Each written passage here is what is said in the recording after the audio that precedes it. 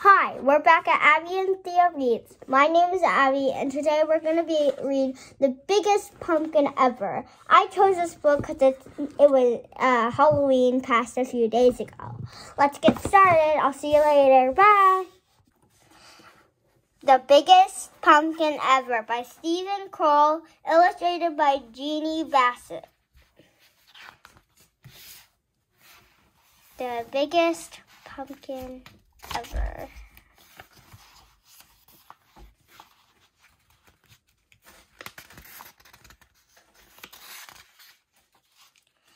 Clayton, the house mouse, noticed it one day in the vegetable garden. It was still little and green, but Clayton thought he could make it grow really big. It may, might be even big enough to win the grand prize at town pumpkin contest. Desmond, the field mice, discovered the same day. It um discovered the pumpkin the same day. He thought it that if he, it, he helped it grow, he could be it could become the biggest jack o' lantern in the neighborhood.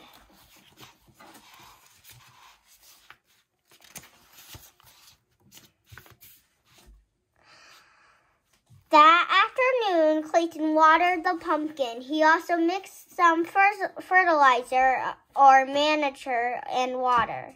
Of miniature and water. He also mixed he also spread the mixture all uh, mixture around the pumpkin to make it grow large. That very same night, Desmond mom went to the garden. He also watered the pumpkin too. And uh, he also watered the pumpkin too. He also spread some manna, manna mixed with water around it. The next day, Clayton watered again and and fertilized the pumpkin again. The next night, Desmond did the same, and the pumpkin began to grow. By the end of the month, the pumpkin was so large Clayton couldn't believe his eyes. Oh my goodness, said Clayton's mother, and it's not even full grown. Clayton shrugged. All I do is water it, he said. Clayton's mother's Clayton's mother whispered in his ear. If you want the the pumpkin to grow fat, bigger and big bigger faster, she said, you should use sugar water. The night that night mom brought his brother Morris to see the pumpkin. Morris knew everything there was to know about growing things. That's some pumpkin, he said. Desmond shrugged. All I do is water it, he said. Morris whispered in his ear. You should try using sugar water, he said. The, the next day, Clayton dug a small hole beside the pumpkin vine. In the hole, he placed a, bowl of sugar water. He cut in into the vine a few inches. The pumpkin, um, from the pumpkin. In the cut, he put one end of the piece of candle wick. Then he put the other in the bowl of sugar. That that night, on the other side of the pumpkin, Desmond did the exact same thing. Within a week, the pumpkin was twice the size it had been. Within two weeks, it was absolutely enormous. Clayton was amazed. He ran down the road and peeked into his friend Jimmy's pumpkin patch the pumpkin Jimmy was growing for the contest looked much smaller. Clayton scratched his head. I have an amazing contest, he said out loud, I, and I think I'm going to win the contest. That night, Desmond and his brother Morris spent a long time looking at the pumpkin. How do you think it got that big? Desmond asked. Morris shrugged. A little luck, a little skill. It's sure going to make some jack-o'-lanterns, said Desmond. It sure is. A week later, Clayton noticed the pumpkin was bigger than the family car. During the day, he, everyone he knew came to admire it. At night, the field mice gathered around to do the same. By now, summer was almost over. Um, in a week, the pumpkin would be full grown and starting to turn yellowish and then orange.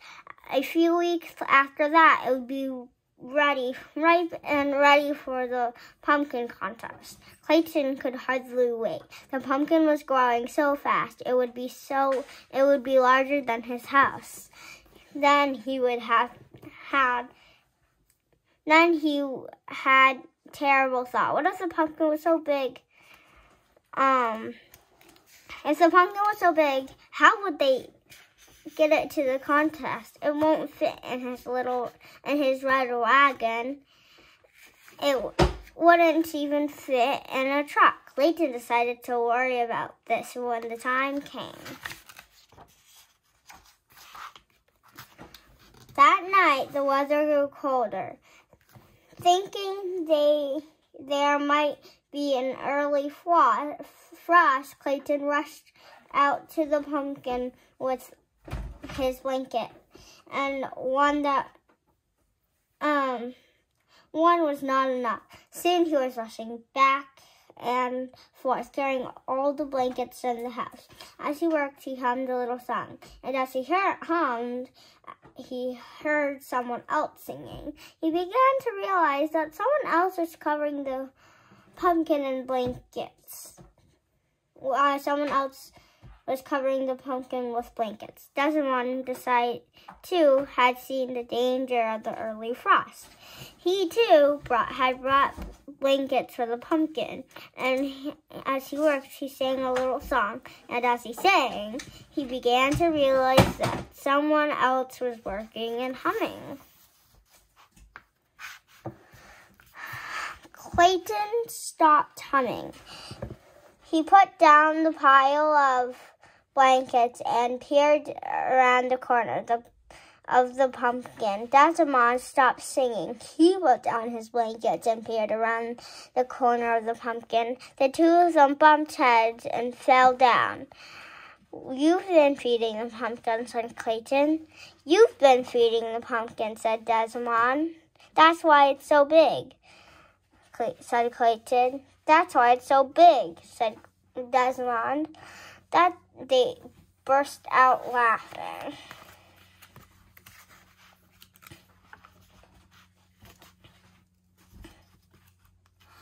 When everything had been explained, Clayton said, I know I'll win the contest if I can get the pumpkin to town. Desmond smiled. I'll help you. Just let me carve it the pumpkin into a jack-o'-lantern for Halloween that when the contest is over. It's a deal, said Clayton. A deal, said Desmond, and they shook on it. The morning of the contest was bright and sunny. Mice were bringing their pumpkins to town square, to the town square by truck, car, and wagon. Some of them were rolling along. So some of them were rolling them along the ground. Suddenly, they all stopped short. Over the fields came the biggest pumpkin that anyone had ever seen. It was being pulled by a hundred field mice on motorcycles.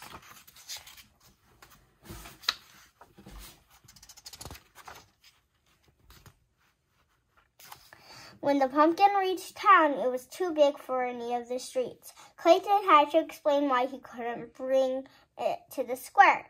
The mayor understood at once. He led the crowd to the giant pumpkin and put the prize ribbon on the side. Then everyone danced around it. Who would believe this? said Clayton as he danced. Who would believe this? said Desmond at the same moment.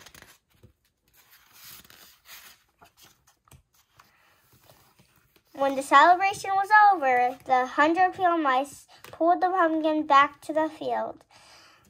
The day before Halloween, they carved the best jack-o'-lantern ever. And on Halloween night, its wonderful smiling face could be seen from miles around. The end. Thank you for reading with me. I'll see you later at Abby and Thea Reads. Bye.